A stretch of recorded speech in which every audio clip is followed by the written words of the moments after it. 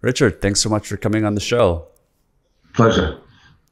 Well, I'm a big fan of the the the, the fact that you've kind of pioneered this 80-20 principle. It's something that I've apply in pretty much a lot of the decision makings that I do. I do it almost on a weekly basis and where I kind of write down some of my goals of what I wanted to accomplish and then I do an 80-20 around what I think are the most impactful amongst those goals and it's it's you know obviously something that millions of other people around the world have used as well.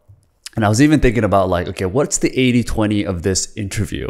You know what, what are some of the things that we can really try to distill down that will have the most amount of impact? And um, you know I, I guess we'll, we'll try to see if those are some of the questions that we go into but we certainly want to go over the 80-20 before we have uh, discussion around your new book, which is called The Unreasonable Success and How to Achieve It. But to kind of give people an overview, obviously the 80 20 principle comes from the uh, Pareto principle or Pareto's law, I guess you could you could dis- distill it down to. But can you give us an overview of kind of where the origins of this comes from so that people get an understanding? Yes, there was once a very shaggy, bearded professor uh, in Lausanne University. And this guy was called Vilfredo Pareto, and he was an Italian, but he was living in Switzerland. Mm. And his um, uh, idea, or his source of his uh, studies, was actually looking at the wealth and the distribution of um, earnings in different European countries. So he looked at the distribution of wealth in England, for example, and then he looked in uh, in Italy and Spain and France, and then he looked at the distribution of wealth over different time periods. He was working in 1896, uh, 97 when he wrote his book, which is entitled uh, "Course in Political Economy," mm. and what what he did was to look at the proportion of people who had a certain degree of wealth or income. Uh, so he looked at the relationship between wealth and the number of people. And what he discovered was that there was an almost perfect fit in terms of a, a straight line in, in, algebraic equation, or if you drew a graph um, on semi-log paper, which said that every time that you went up a certain proportion, uh, to uh, a higher level of income or wealth, the number of people that actually fell into that category was much smaller and by a regular relationship between those. So he never actually used the phrase Sean 80 20. That didn't happen until the 1940s or 1950s, but it's essentially a shorthand which says that in any population, 20% of, of people will account for 80% of the wealth. Uh, but it was also true because this relationship happened throughout the distribution that if you wanted to go up another 20%, then 4% of the population would account for 64%, 80% of 80% of mm. the wealth, and so on. And he was struck by the fact that this was such an extraordinarily good fit. You don't get that very often in economics or, or in anything really. And so he, he believed that this was this was really significant because it meant that the distribution of results and causes was very very wonky. It was asymmetrical. It was it was unfair in a way that that you can actually have a situation where uh, a very small proportion of causes ended up with a very high proportion of results. And so that's really what it is. I mean, I think Peter Drucker, is, from a management point of view, was the first person really to focus in business on results. Amazingly enough, until Drucker came along, uh, people were interested in administration, etc., but they never actually looked very carefully at where the results came from. Well, this is, if you like, a second generation of that because it says, okay, results is fine. We want to focus on results, but we also want to focus on what goes into the results. You know, what are the causes? And so, uh, what I did when I wrote my book back in 1997 was to look at all of the things that have an asymmetrical relationship, which, as you said, the 80 20 of 80 20 uh, were important. And there were really three things which, which I, I focused on more than anything else. One was that every sale, every every dollar of revenue was not equivalent, and every customer was not equivalent. And in fact, if you analyze the profitability of any particular product or any particular customer, you would find that there was this very odd relationship that 20% of customers or of products would account for the vast majority, 80%, maybe 90%, maybe 70%. These things are not precise, but they would account for uh, an awful lot of results. And so, you know, I said, well, this is, this is amazing because if you just focus on that, you then say, well, there are very few products and there are very few customers that actually are really important. Mm. And most of the rest are not. Now, this is this is real heresy for a sales manager because everyone loves sales and you know, getting extra sales, but you have to look very carefully at what the incremental profitability of those sales is, and you also have to look at at, at customers and products and say there's probably quite a long tail of products and of customers who are actually unprofitable. So, you know, Mr. Pareto's um, uh, maths didn't really take this into account, but but in fact, whenever I've looked at the distribution of profits versus sales, I find that there are really three groups of people. There, there are the very very profitable products and customers, and there are the almost marginal, don't really matter products and customers, and then there's this this other categories, third category, which are unbelievably useless. I mean, they're, they're, they're not they're not just useless; they're worse than useless because they're, they're, they're hugely loss making. And you can imagine that there are certain customers who are always very, very demanding of the time and attention of people. That goes into overhead. No one ever really thinks about that, and no one ever thinks very much about the psychic impact of that because horrible customers are horrible to deal with. Mm. And, and, in fact, they, you know, they get a lot of attention, like the squeaky wheel on a trolley. You know, they get a lot of attention because they're not working properly. And then everyone tries very hard to deal with that. And it's completely hopeless because actually those people will never be satisfied. They'll never actually give the company what it, what it really wants or deserves. And so there, there are those people who are in that category. And the best thing to do is to fire those people and fire your customers. Well, you know, 20 years ago, that seemed like heresy. Nowadays, I think people are actually getting a little more used to the idea that some customers might be useless. But actually, managers are very bad at trying to get rid not just of customers, but of products mm. which are relatively unprofitable. So whenever I did, used to be a management consultant, I used to go into the companies and look at the profitability of, of products. And there were very few products which made an enormous, almost obscene uh, margin, sometimes 80% or 100% return on capital. And there were other products which were, you know, uh, not very interesting, maybe a 10% return on capital. And there are others, if you actually did a fully costed analysis, they were losing a huge, huge amount of money. So, you know, what I've always wanted people to do is focus on the things, the few things which actually produce fantastic results. And that's that's what you're doing when you're sitting down every week and looking at your the things that you're doing. And what the the, the second use, uh, uh profitability, I said there are three uses in, in business. The second use, which I think is related to that, is time. You know, the time that you spend doing something is not the same, whatever it is relative to, to what you're doing in terms of results. We all do some things which are incredibly valuable. So, for example, we might invent a new product or we might come up with a new business formula. We might um, uh, win a customer who is going to be fantastically profitable. We might come up with a creative campaign which um, gets people's attention. We might hire somebody who's much better than we are you know, I mean? mm. and and tremendously effective. Um, and there are those moments when you know you're in effect earning thousand dollars an hour or ten thousand dollars an hour. You know, if it's a new product which which actually takes off, it could be something which lasts forever and ever for a very long period of time and is tremendously important. At the same time, we all do things which are very unimportant. There's certainly, you know, moving bits of paper around is not is not very productive, uh, and yet people do it generally meetings are not very productive, and yet people do because they're used to doing them.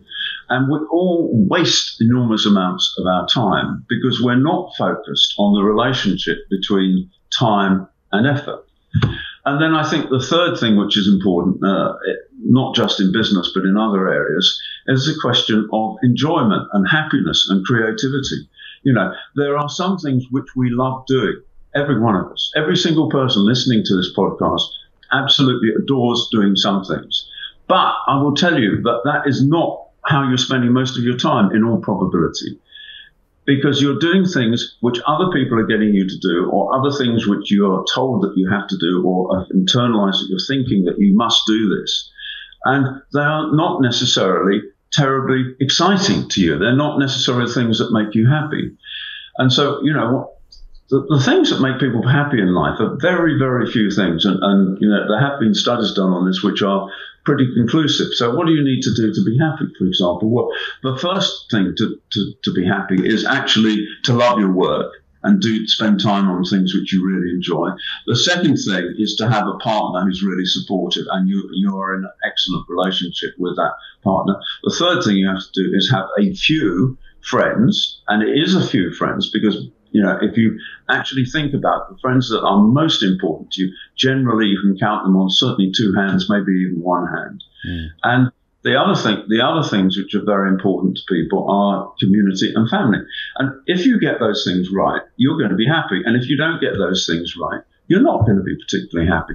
But if I ask, the first question I always ask someone when I meet them and get to know them socially is, you know, do you enjoy your work? And it's amazing, you know, the number of people who actually say, yes, I enjoy all of my work is relatively few. Some people will say, I really enjoy parts of my work. I really enjoy it when I'm doing this. I really enjoy it when I'm doing a sales pitch. I really enjoy it when I'm creating a new product.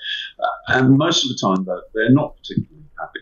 And other people say, well, actually, I earn a lot of money and it's all very good for my resume, but I don't really enjoy it. And, you know, you talk to lawyers and they almost all say that because actually being a lawyer is very stressful. You have to work very hard.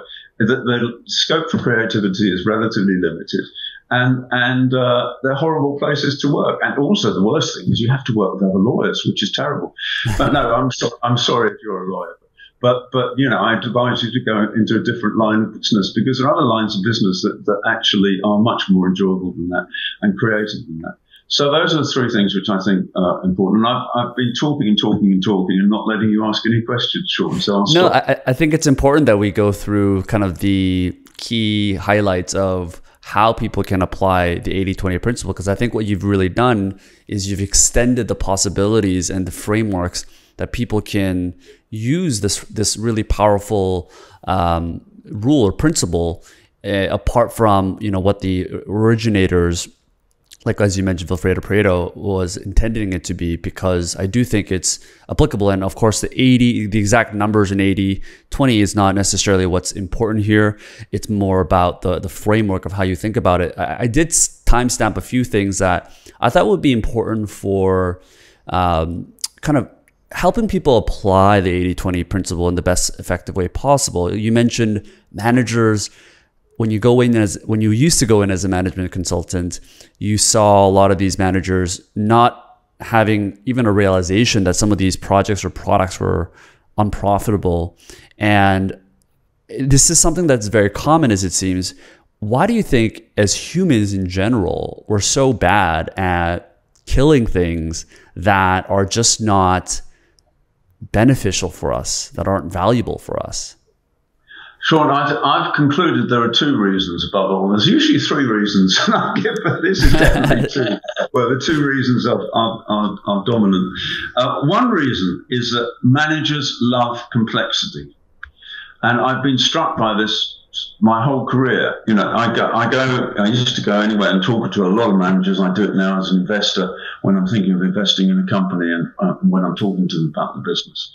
But managers actually like things to be quite intricate and complex, particularly because most managers have got a, a scientific background or an engineering background or some, some hard scientific background. Increasingly, managers also are, are executives are from the humanities, and uh, you know they might study some weird subject. They might be linguists. I know you're very interested in that, but but you know still it's a very hard engineering based thing, and what does an engineer really want? An engineer wants a perfectly tuned product which will go and, and work for itself. But actually, if you look underneath the hood, imagine a car, for example, you know it's pretty complicated. There are lots of pistons and things going up and down, and then and then of course a manager will always like to say, well, of course, you know that's generally true, but there are these exceptions, and you know we we're actually fascinated by the exceptions because um, that's more interesting to us, and they will go and talk about that. They never actually stop and think and say, or rarely do they stop and think and say, uh, is all this complexity useful? So I, I think it's this love of complexity, and and it's intellectually challenging, but it's not necessarily something which you know customers want or something which is very difficult to do. Um, and I think the second reason why people actually don't use this idea very much or you know are not used to comparing results and causes is because they want to be busy.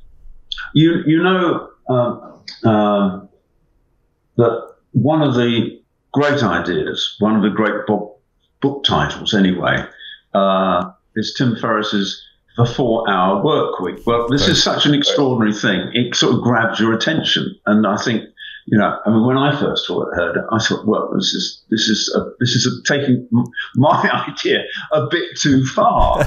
uh, but when I actually stopped to think about it, I said, well, actually, maybe there are, are only four four hours of each week when I'm really doing something which is fantastically useful. So, what do you do with the other, you know, 36 hours if you work a 40 hour week, or God forbid, people work 50, a lot of very ambitious people work 50, 60, 70, 80 hours a week. I've done it and I very much regret having done it. But, you know, how do you fill your time? Well, you know, busyness is something that we are all attuned to. The idea that if you're important, you've got to be busy is so strongly rooted into our culture that it's very, very difficult to escape it. And, you know, I used to work in a, a, an open plan office when we started LEK as a consulting firm, and we had, you know, lots of young people sitting outside and everyone was dashing around and all the rest of it. But the, the, the thing that people really wanted was the time of the top people.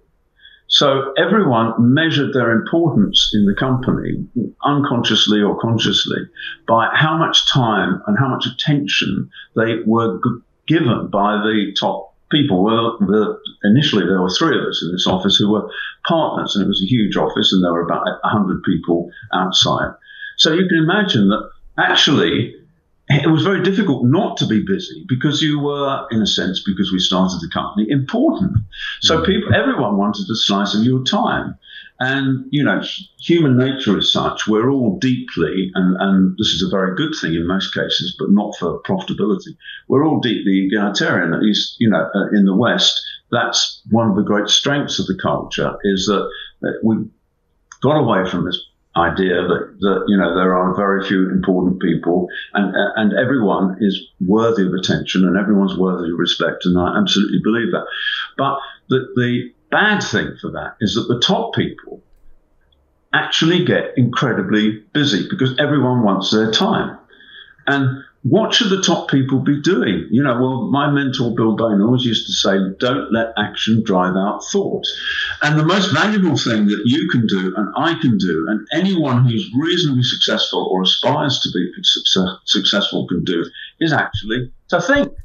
Now, you sit there in an office and, you know, there's no one sitting next to you. You're not tutoring someone, you're not mentoring someone, you're not explaining something, you're not getting something done, you're not on the phone to a customer, you're, you know, you're doing nothing. You're sitting there, you're thinking, you know, and you might be sitting in, uh, and reading a book, you know.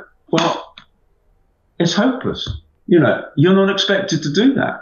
And so you fill your time with tasks which are inherently less, and I, I'm guilty of this as much as anybody else, but are much less important than the things that you could be doing if you're actually thinking.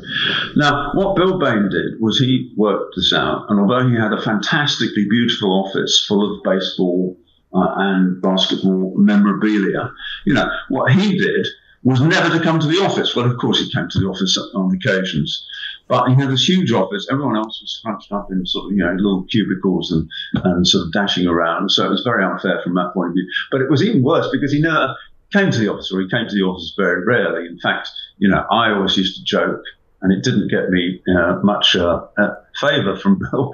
I used to say, well, of course, Bill's not let, letting action drive out thought because he spends more time on the tennis court than he does in the office. And there were all kinds of false constraints built into his diary. You know, his personal assistant would, you know, you went along and said, I'd like to talk to Bill for 15 minutes. She suck her teeth and sort of look at the schedule. And if you look very carefully, you could see that there were blank pages in there. So all false constraints. But he had the right idea. You know, it might sound very selfish or it might sound very unreasonable, but but because he had lots of time to think, he came up with a business formula for a consulting firm which has never been um, uh, equaled or exceeded. And uh, we won't go into that unless you're particularly interested. But, but, but nevertheless, there is this thing that, that conspires really to the more successful you are, the busier you are. Mm. And the less likely, therefore, that you're, you're, you're in effect trading on the past. You're living on your resting on your laurels, you're trading on the seed corn that you've already got. If you really want to be successful for you know the longer term, you've always got to have a new challenge, and that means that you've got to think of something new and different to do, which is in accordance with the few principles, like the 80-20 principle, which determine whether or not you're likely to be on the right track. You need to think of something which uses relatively little money or relatively few people and can achieve a great result. And the only way that you can do that is to think of something that nobody else has thought of. And, you know, you can't do that if you're busy and you're, and you're in an office, particularly in an open plan office like a goldfish uh, uh, bowl where everyone can see what's going on. You know, I go, when I want to actually do something really good, I go and sit on the fish pond, which is, you know, my house is uh, some distance from here. I'm not, talk, not talking to you from it because the internet connection is very poor in the in the uh, countryside, and I've now come to a friend's house where the internet's very good because it's in a city. But you know, I sit on the fish pond and I think, and I don't I don't take a computer or a phone or anything like that. I take a notebook, you know, a little notebook with me, and I take a pen and I sit there and I define what issue I'm going to be thinking about. And then I might read a book as well. Uh, I might look at my carp, the sort of, you know, very calming effect that they have um, of, of looking at the fish or trying to spot a snake that might be sneaking into the fish pond. it's in a sense, I'm goofing off, but I'm not actually. I mean, all of my good ideas come from spending time there when I, I don't have to worry about the schedule and I don't have to worry about getting in touch with someone. And actually, I, I don't even know what I'm doing in many occasions. I, you know, I don't, I don't know which problem I'm going to be addressing, but I, but that's when the breakthroughs come. And I know that that's true for a lot of other people as well, uh, because for one thing, I always encourage them to do that, and they always come back to me and say, "Yes, you're right, Richard. That, that actually the only way that I can actually get something truly original done is to forget about everything else and all the pressures which successful people have." And um, so, I think I've answered the question. Yes, that the people love complexity, and also people love being busy because that's taken as the currency of success. Mm. Whereas actually, in order to be really, really successful, and this may lead into the other book, but but you need to do things which are unorthodox, and you need to do things which are original, because Definitely. otherwise, if you're just copying what someone else is doing, you, you know there are lots of people doing it, and by definition, the returns are not going to be very good.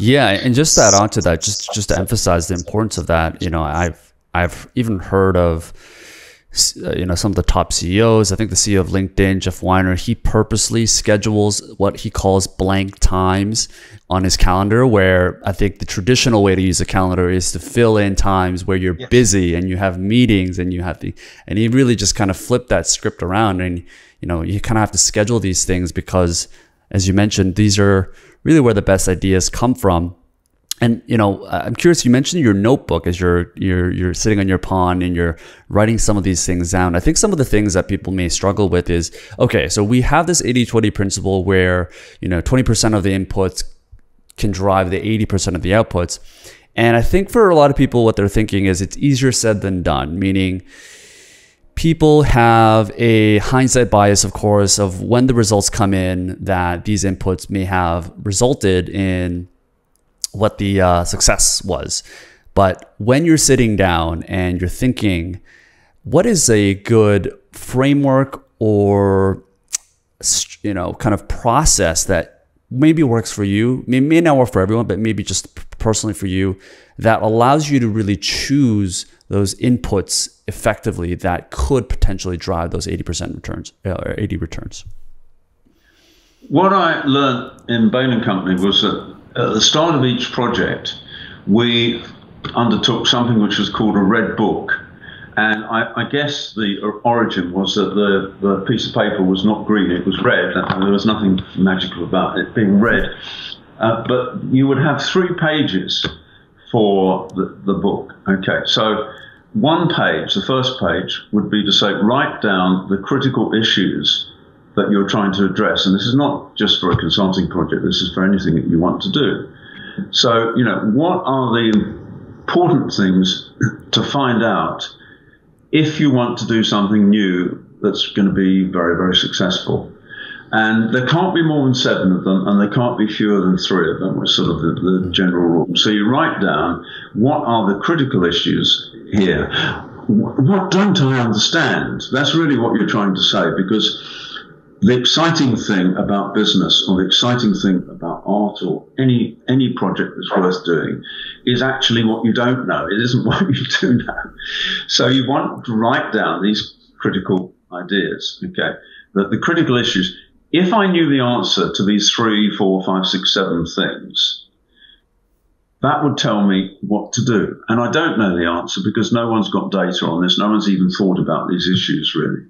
So one page is these critical issues. The second page is to say, what are your hypotheses on the critical issues? So you go back to the seven things and you say, what do I think may be the answer? Now, the first time you do this, you're almost certainly going to be wrong because it would be a jolly simple project or a simple set of things that you're thinking about if, if you actually came up with the answer just by thinking about it the first time. Okay. So, but you write down what do you think the answer is? What's, you know, what's your best guess at this? And I'm always amazed that because you're, because you've got to fill out the second page of the thing and using a pen and paper, not a screen or anything like that, you actually force yourself to, to think creatively about it. And sometimes when I do this collaboratively with people, I take them on a walk so it only works really with two or three people because you have to walk alongside each other. Uh, and you want to walk some, somewhere which is, you know, beautiful, etc. And often you're going through the countryside. You're not going on a road, you're going on a, a path, a lane. So, you know, it's not very wide. But anyway, you actually say to someone, well, you know, what's what what's the first critical issue that we're trying to address? And that, that themselves, you know, may take quite a bit of thought.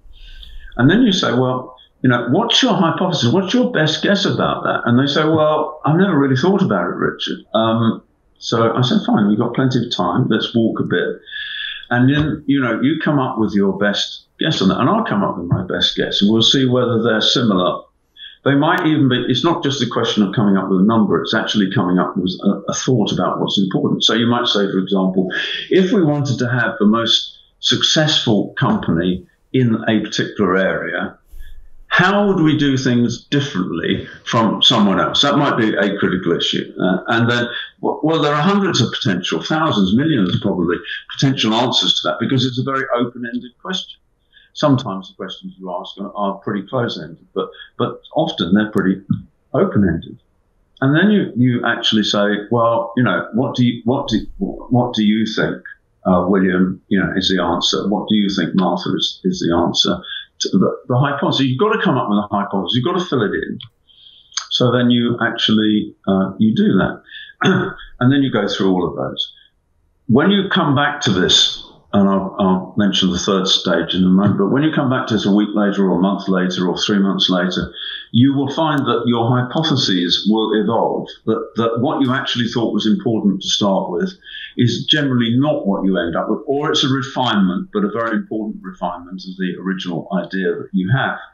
So, Sean, you, you, you, you actually write down your, your, hypotheses and you compare that to other people's hypotheses. You might ask people to do this as an exercise and then get together uh, and, and read out your answers, or you might do it interactively, such as on a walk.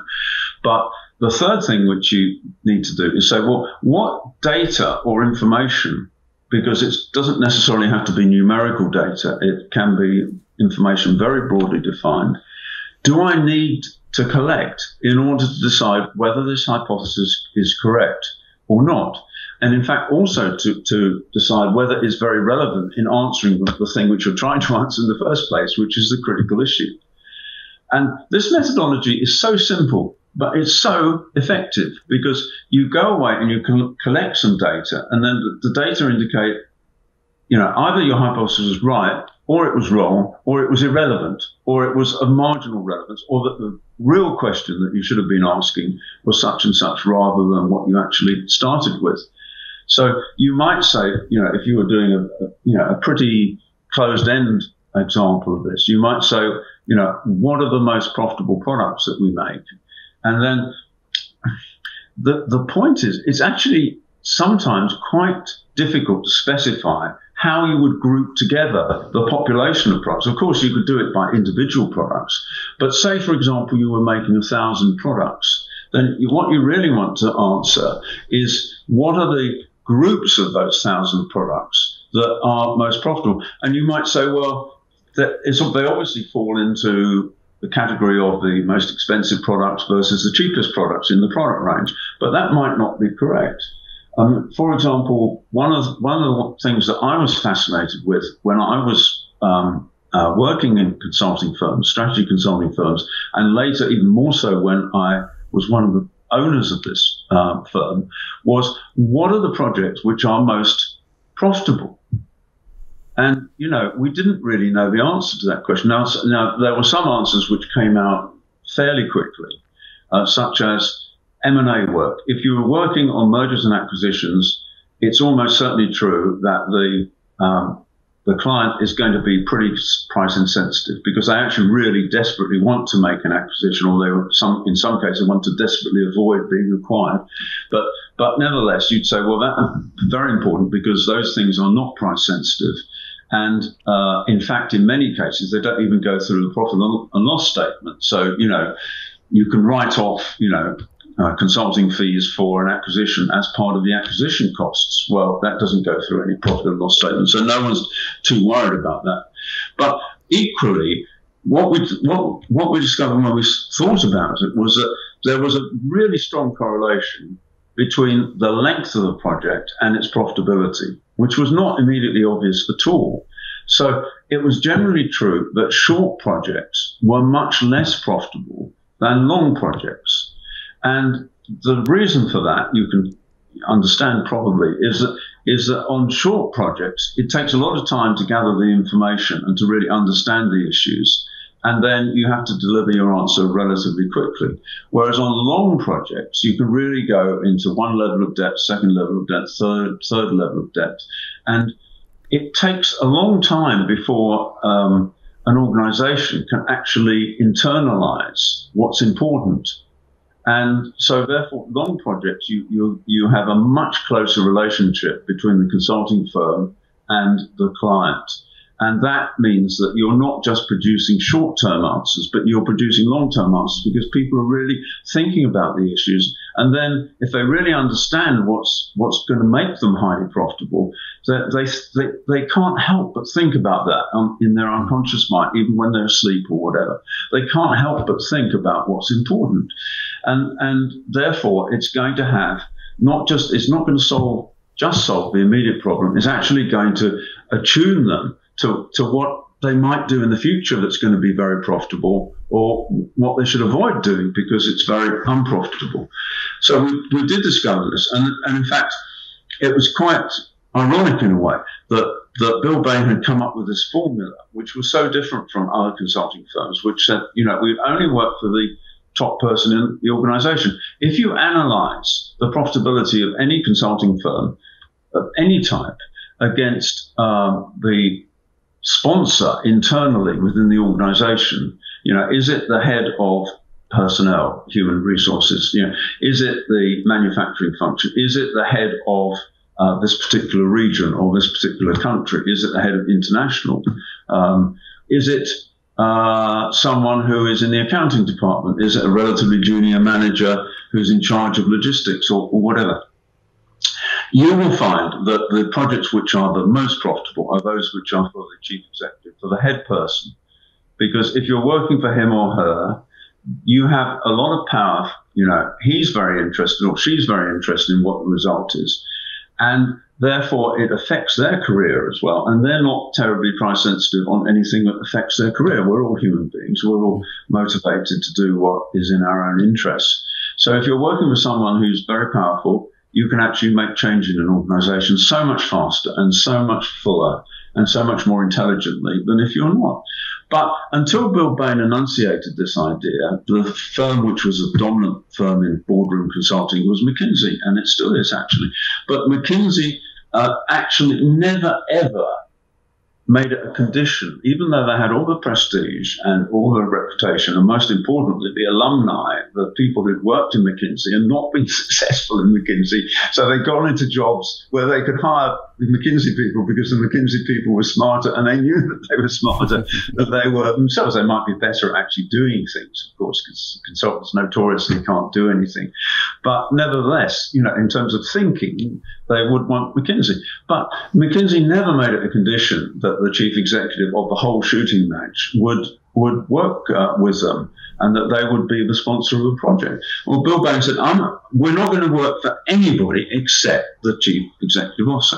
So, you know, the answer, if you were actually doing a, a red book exercise for a consulting firm, is exactly what Bill Bain came up with, which was only work for the top person, only work on very long projects because his idea was that, that there'd be a continuous relationship between the consulting firm and, and the project. So you didn't need new clients in order to be successful because you could grow the business within the existing client.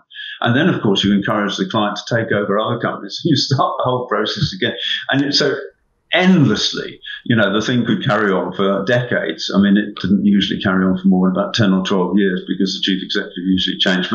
But nevertheless, it was, it was a, a great idea.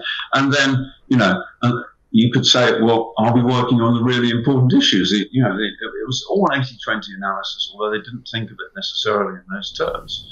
You know, what, what are the things which are going to move the lever? You know, what are the things that are going to actually uh, move the dial? You know, what are the things which uh, are going to make this company so much more successful than another company?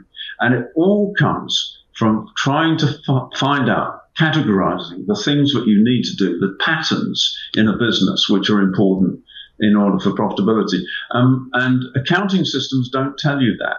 You know, accounting systems will tell you the gross product, uh, profit of the product. They'll tell you, they might, even if they're really sophisticated systems, tell you divide up the overhead between products, although most companies just don't do that because it's quite difficult, you know. But but the answer might be completely orthogonal, completely laterally unrelated to, that issue. It might be a question of, you know, is it a new product or is it a new project or is it something that the top person is really interested in? And these are the questions, these are the answers which will only emerge if you think about things not just in a quantitative way, but in a qualitative way. You're mm. trying to recognize patterns of profitability, patterns of importance. And every single new company which has been wildly successful, and again, we might go on to talk about the unreasonable successful here, has had a chief executive who looked at the world differently. So Steve Jobs would be a great example of that because before that, before Jobs, no one ever thought the key thing was the artistic nature of the product. No one ever thought that you wanted to make insanely great products. And why would you try that? Because it was insanely difficult. but nevertheless, it was it was insanely challenging and, and rewarding and exciting.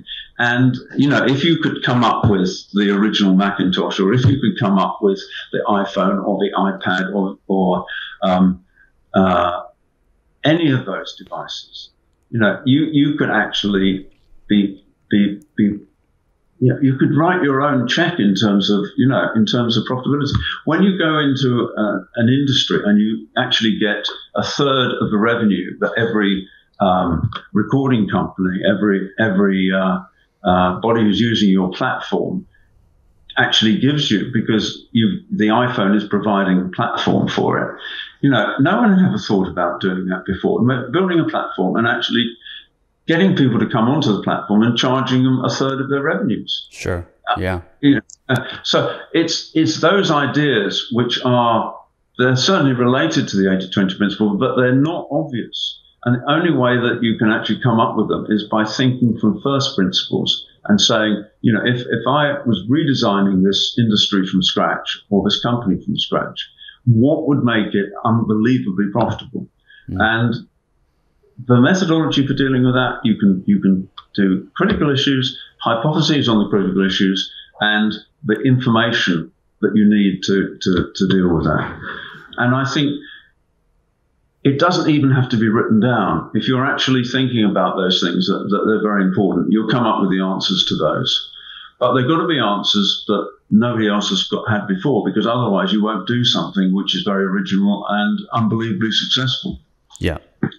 Yeah, and, and in addition to some of the things that you've you've pointed out, it, it seems like a great example is the iPhone and Steve Jobs' decisions to have an open platform and allow other app developers to come in.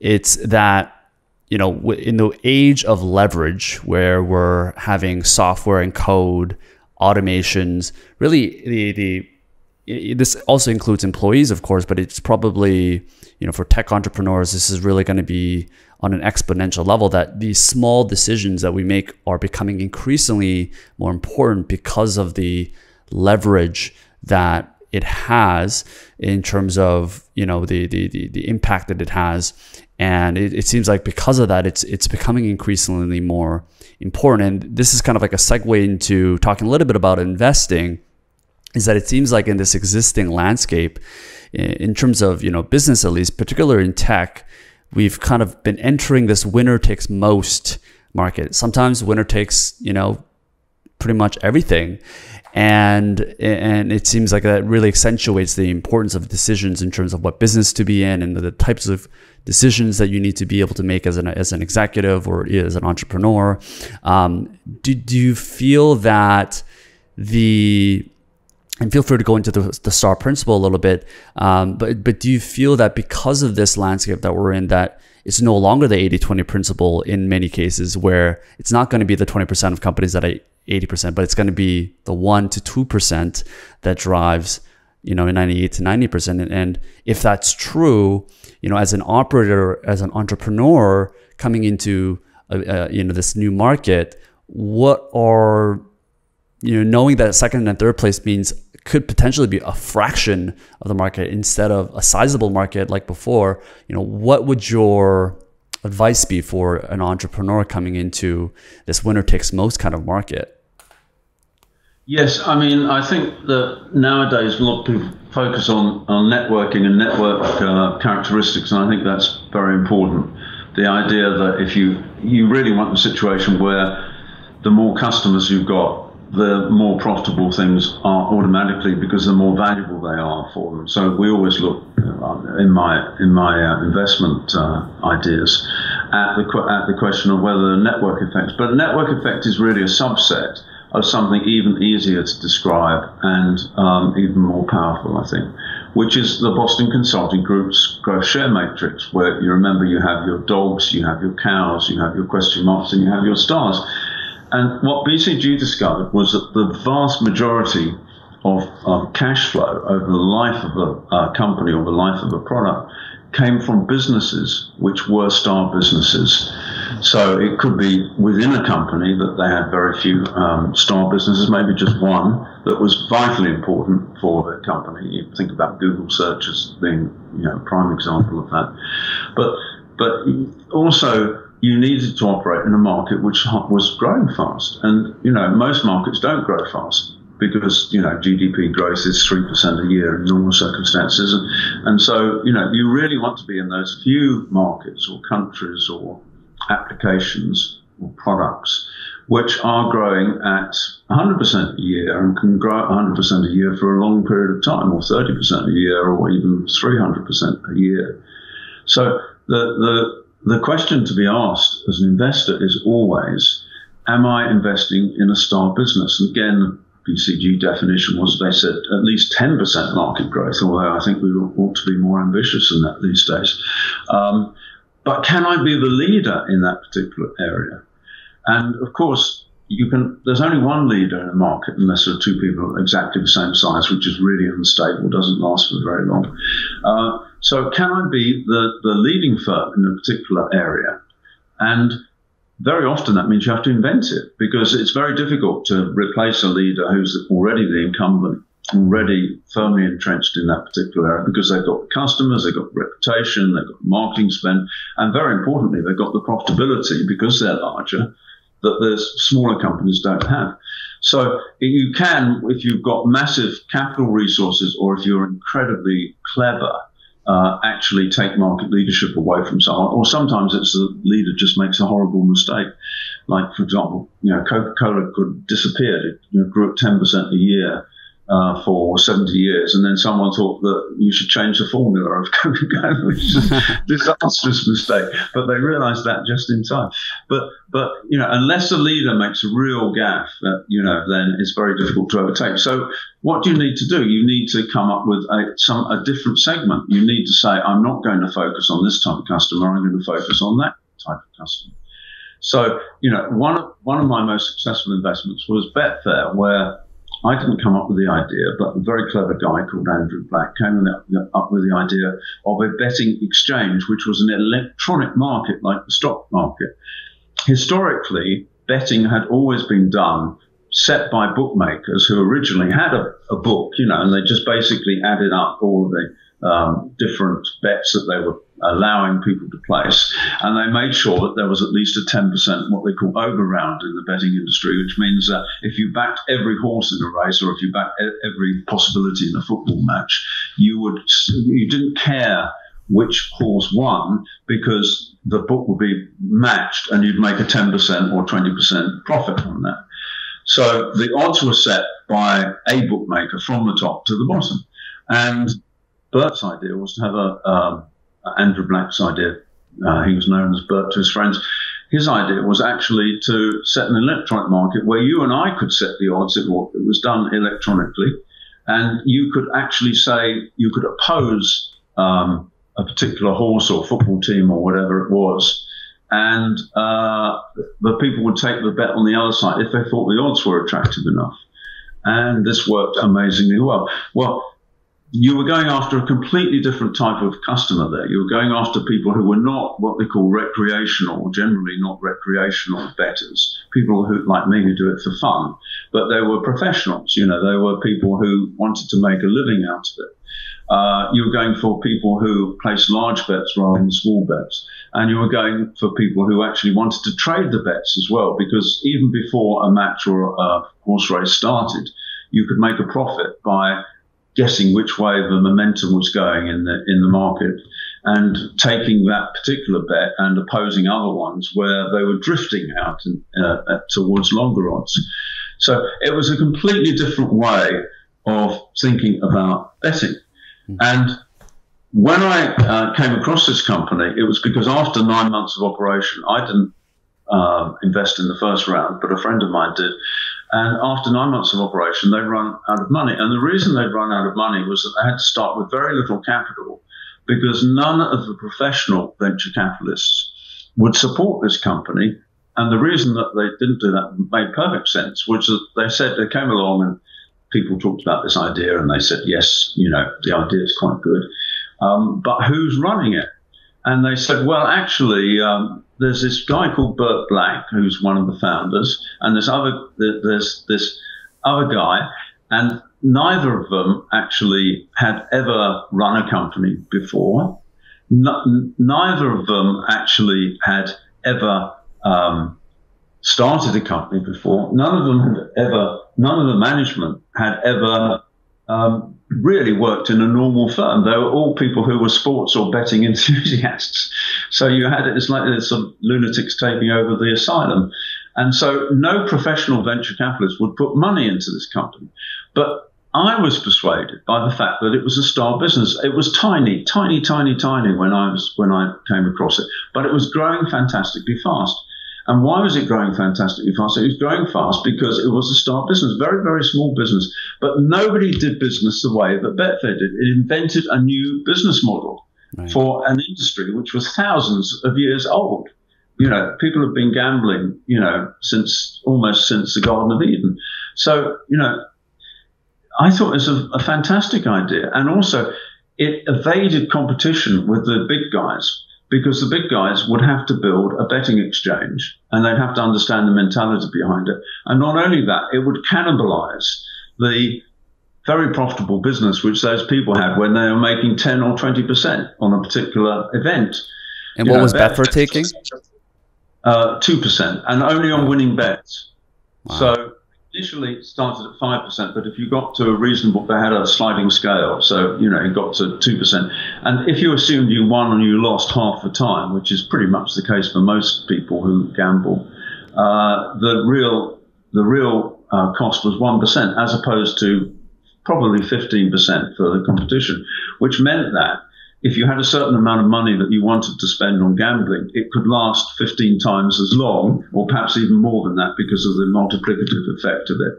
Uh, you didn't run out of your money so quickly, uh, which is what happens with most gamblers. Uh, and so uh, it was it was a fantastic idea. The only question in my mind was whether it could remain the leader in the new segment which it, it had invented. I've forgotten what your original question was, Sean. So I hope I've answered it.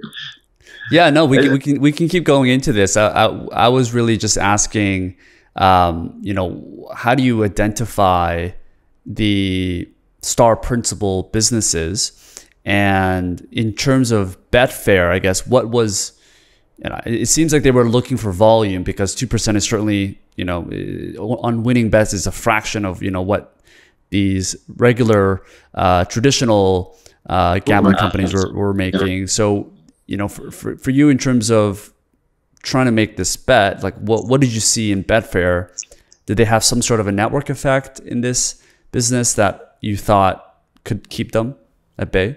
I mean, it was partly that. I mean, certainly there was a network effect because if you if you were on Betfair, you wanted more people to come on Betfair because the problem with Betfair in the first um, few months was that only about half the bets which people wanted to make were consummated because there wasn't someone on the other side of the transaction who would do it, and so that the you know the there wasn't you know necessarily the ability to place your bet, and of course that's very frustrating.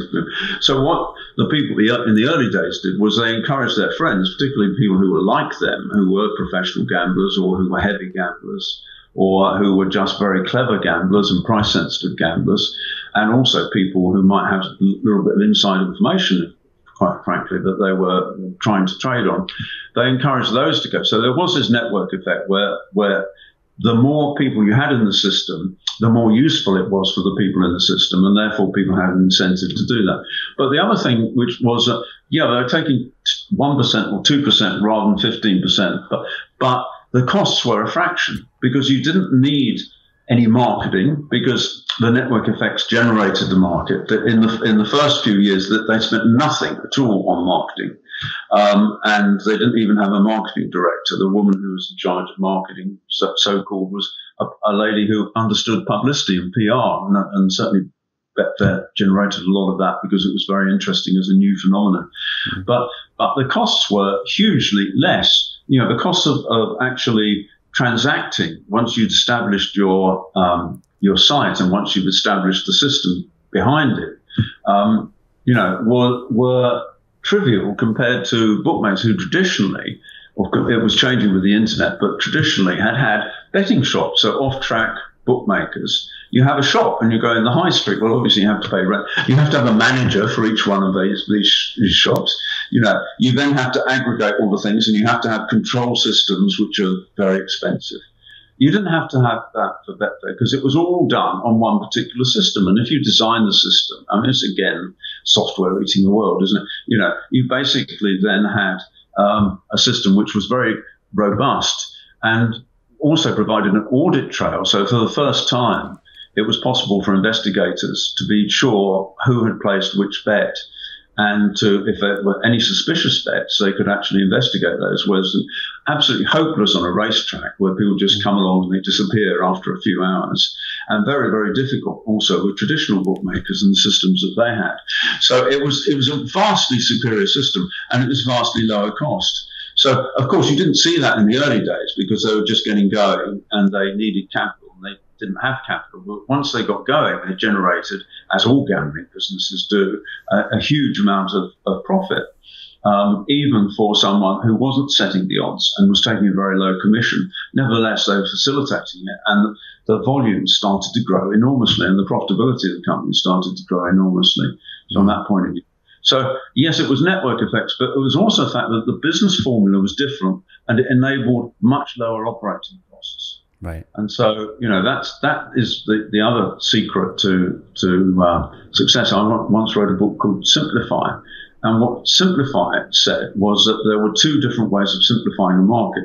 One was to go for the very highest scale and very low cost. So you think about you know uh, a full line airline you know, with lots of frills and, and lounges for people and giving meals and all that sort of stuff, versus a budget airline that would cut costs to the bone by, for example, not having uh, allowing the passengers to put their bags through to a different destination. So you just had point to point. You know, right. you know Southwest Airlines would operate in three Texan uh, cities, and that, that nothing in between. So you lower the cost enormously and you increase the volume. It's what, what McDonald's did with the, the coffee shop, that they limited the menu to nine items from the hundreds of coffee shop had, got rid of all the waitresses because you didn't need to uh, to provide that. You know, a totally different business model which lowers costs. And the other way to do it is the way that Steve Jobs did it, was providing something which was so attractive as a product that people really didn't mind what they paid for it. so it was a, you know, what I call proposition simplifying. So if you want to, you know, those are the two opposite extremes of the thing. But but the key is to do come up with a business formula, whether they're charging high prices or low prices, which can be greatly more profitable than the traditional way of doing things because it's doing it differently and it's start, starting with a clean sheet of paper. Yeah, definitely. Um, I, I also want to make sure we have time to get through your new book, Unreasonable Success, and how to achieve it. And, and, I'm sure a lot of the characteristics, there you go. I'm sure a lot of the characteristics that we've talked about in terms of, you know, the entrepreneurs running, you know, the star principle businesses. Um, you know, I, I understand not all of the peoples that you've mentioned are in business, but maybe we can go over in terms of what are the stories and the people that you've decided to choose and um, you know, I, I, did select some of the key principles that I wanted to go over, like having high expectations and making your own trail. But maybe we can start with an overview in terms of the people that you've decided to to display. Yes, thank you. I need to go after about ten minutes, so so let's have ten minutes on this, if, if we Definitely. may. But thank you very much, because obviously I want to plug my latest book, of course, and it's yeah. also something I'm very passionate about. I started off by trying to try and think what why is it that some people are more successful than others? And then particularly wanted to answer the question, which was, why is it that some people who don't appear to be particularly talented or that, that brilliant actually achieve remarkable results which do change the world, or people that might have character flaws, like you know Steve Jobs had lots of character flaws. You know, how could it be that these people who do the opposite of what you're traditionally supposed to do by being a good manager, you praise everyone, you give you you know you just just basically um, uh, support them and you nurture them and you know Steve Jobs bullied people and and he but, and, but he particularly bullied not the weak which is what most bullies do but he he bullied strong people. Well you know how is it that these people could be very very successful so I took 20 people that I either knew about or in some cases actually knew personally who had been very very successful in their own particular sphere and uh, they weren't necessarily in business, as you said. There was Jobs there, was Jeff Bezos was there, but I also took um, people in the arts. Leonardo da Vinci was there. Um, I don't know if you think of her as an artiste, but uh, Madonna was there. Bob Dylan, certainly as a poet, he was there. You know, I took people who, in their own sphere, had undoubtedly changed the world in one way or another, and um, I, I, took the economist John Maynard Keynes because he solved the problem, and that's unemployment you know, just through one idea.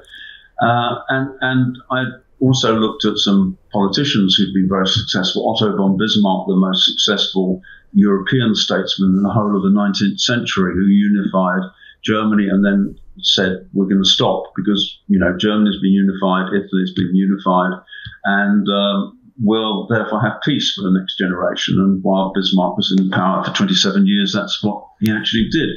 Very, very successful people like someone like Margaret Thatcher, who you know wasn't a very um, to be very rude about it. She she wasn't the brightest um, politician in Parliament by a long way. But she was very, very successful because because of circumstances which I can describe later on. Um, why is it that some people manage to change the world and other people don't? And I called it unreasonable success because, firstly, it was unreasonable for any one person to have a huge impact on the world because there are 7 billion people. Why should there you know, again, you might say it's an extension of the 80 20 principle, but why should it be true that anyone can really change the world except in a very, very small corner of it? Mm. Um, but they do. Uh, it was unreasonable in the sense that very often this came from not from reason but from intuition. That the people who I studied were almost all very, very intuitive. And it was unreasonable in the sense that in many cases, they didn't deserve it. It seemed that they'd just been very, very lucky. But of course, luck is just what we can't explain. And so I was trying to explain why these people were lucky uh, to a, a, quite unreasonable degree. Yeah. So I took 20 people who, who had been very successful and I looked at possible reasons. I'd had a long list of about 50 reasons why they might be successful. So one reason that they might be successful, I started off with, was taking high risks.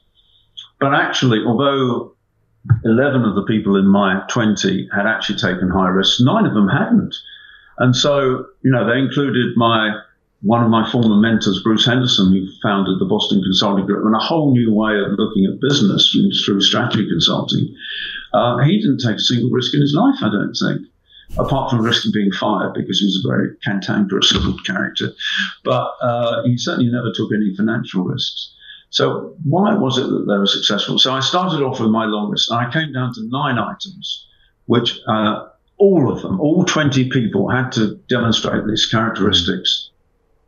And I don't know if I can remember them all uh, well, but the, one of them yeah, so the, the one that really stood out for me was the the ability to make your own trail, and I think it intertwines kind of this contrarian thinking that a lot of entrepreneurs that are people in the star principle category and also investors like yourself have a commonality in. And and um, that one was really what stood out for me. Would would love to go into kind of what you think that you know how people how those people even develop those things that could help the listeners perhaps develop more contrarian thinking.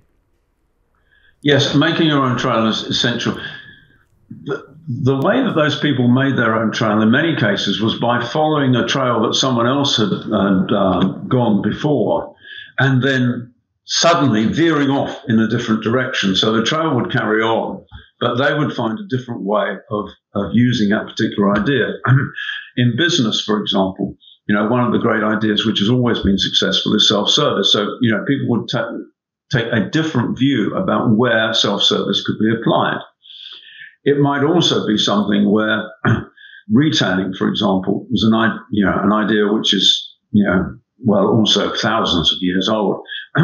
and yet, you know, Jeff Bezos was the first person to actually apply the idea that everything could be sold through the internet. And this was back in 1992, 1993, when most people thought the internet was great for creativity and great for new ideas and great for social reasons, but certainly not for building a huge retailing empire.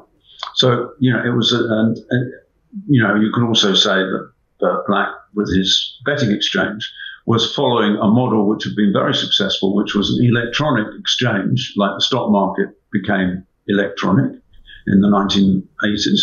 And he was just applying that to betting. So one of the clues is definitely to follow a trail which goes so far and is clearly a very successful, I call them business genes, an idea which just works in business very well. Software at its broadest is something like that. You know, something which undoubtedly is low cost. And if you actually have a very successful software business, going to be very high margin because you can just basically apply it with almost no staff uh, because the system itself works. Well, take an idea like that and apply it in a sphere which is different from other people. But another of the um, uh, nine ideas, which I think is very important, is a transforming experience.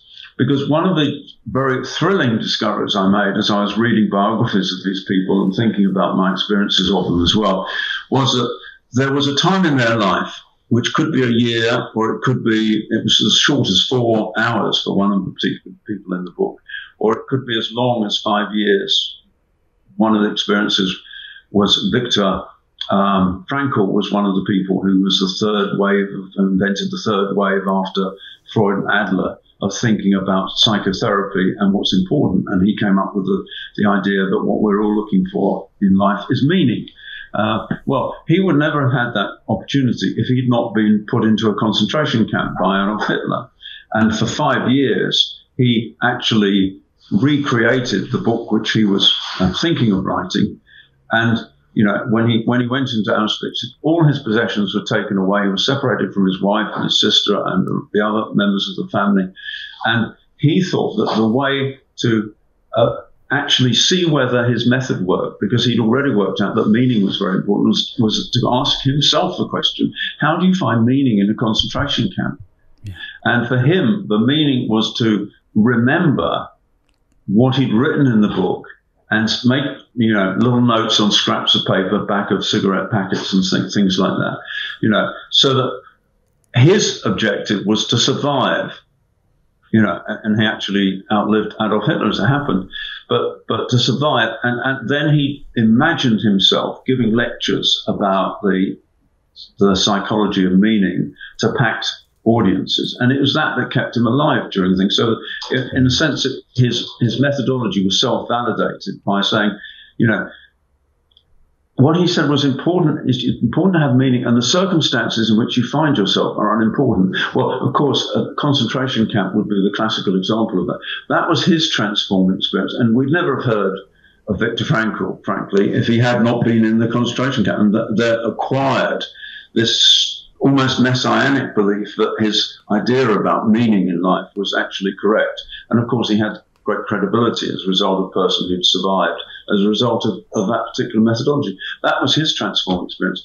For Bezos, it was a transforming experience of uh, stopping working on um, Wall Street, uh, which he hated, and he went to work for a quantitative uh, firm of um, really computer scientists run by a professor, former computer science professor called David Shaw, who'd set up this company called D.E. Shaw and Company as an alternative investment mechanism. And he said it was it was David Shaw who set Bezos off on this project of the everything store, as they term, uh, termed it. And what Shaw knew that nobody else did was that the, the internet was going to be hugely important for business. So that was a rare thing which was was was done. If uh, Bezos had not gone and worked for David Shaw and worked on this project, and then asked if he could take that project not within David Shaw's company but outside and form Amazon, you know, we would probably never have heard of Jeff Bezos. And similarly, Mrs. Thatcher, I mentioned earlier, you know, she was a hopeless uh, failure as uh, prime minister in the, her first two and a half years. All her colleagues were turning against her. The opinion polls were absolutely dire. There was a new political party, the uh, Social Democratic Party (SDP), which was set up, which you know appeared to be taking all support from her. And then the Falklands happened. You know, General Galtieri of, of Argentina decided to invade what he called the Malvinas, uh, these this island in the middle of the Pacific that almost nobody lived in. Uh, and uh, that galvanized Mrs. Thatcher. And she said, but contrary to all the advisors, that we can recapture the, the Falklands, and we must do that because we must prove that aggression doesn't pay. And everyone thought she was completely mad. Uh, the US Navy said that it was technically infeasible to retake the, the islands. Uh, even her friend uh, Ronald Reagan, you know, wanted her to negotiate with Galtieri, but she's, you know, in the, in, in the nicest possible way, she kept saying no. Uh, and by a huge chapter of accidents and um, obviously the bravery of the people involved, they actually did manage to recapture these islands, which were 13,000 miles away from, from Britain. So, you know, that was a transformation. And after that, there was no stopping Mrs. Thatcher, whether you agree or disagree with what she was doing. She, she was very bold. She privatized all the established nationalized industries. Like in Britain, you used to, you couldn't get a telephone installed for months and months and months because it was all run by the government. it was called the General Post Office, you know, and part of the post office was the people in charge of telecommunications. It, a totally absurd system. But, but no one in Britain before her said that, you know, we can privatize all these utilities and, and, actually do it. And she took on the miners and so on and so forth. There was no stopping her because she'd been through this experience and she'd taken a stand on a particular issue and been extraordinarily lucky with it as well as extraordinarily brave and so on. So I would say to people, if you want to be unreasonably successful, have you had an unreasonable, uh, have you had a transforming experience? And people may say yes or no, but most people say no. And, and then I say, well, actually, these people didn't design their own transforming experience. It just happened. But unless you have one of these things, you are probably not going to be unreasonably successful. So you better think about putting yourself in the slipstream of events where conceivably a transforming experience can happen. And there are other things like self belief, which is absolutely critical. Having very high expectations, absolutely critical. Developing your intuition, also very important. And what Jobs did very well, which I call reality distortion, is pretending that something can be done when everyone else thinks it can't be done. And in a way, it's just saying that reality can be changed, but he called it reality distortion. Uh, but if you can convince yourself and convince a small group of followers that actually it can be done, and one of the people in the book is Vladimir Lenin, who persuaded his revolutionary supporters that because the um, Tsar of Russia, the, the, the, hereditary ruler of Russia, um, could rule this huge, vast country uh, through a network of about 2,000 people who were basically the officials of the, of the regime. If he had 2,000 revolutionaries who believed that revolution was possible, then they could do that. And in the circumstances of um, Russia in 1917, after being defeated in the First World War, those people were able to seize power. They they uh, took made a coup d'état. They removed the new democratically elected people because they actually sent them into the um, into the uh, chamber of the, the, parliament, which was set up, and shot the people who would not agree to go along with what Lenin was trying to do. But whether the intentions are good or bad, you need to have a, a transforming experience, and you need to do things differently. I think if you if I had to sum up the most important, and you have to really believe that what you can do can be done. Uh, yeah. But anyway, of these nine things are illustrated in the book with lots of um, very nice little stories to, to go. But I'm convinced that I have, if you like, got to the bottom of the 80 20 of success. I don't use the word 80 all in the book, but that's what I intended to do. And I just want a lot of people to be a lot more successful because that's what generates growth, creativity, and the texture of life, which makes it exciting and interesting.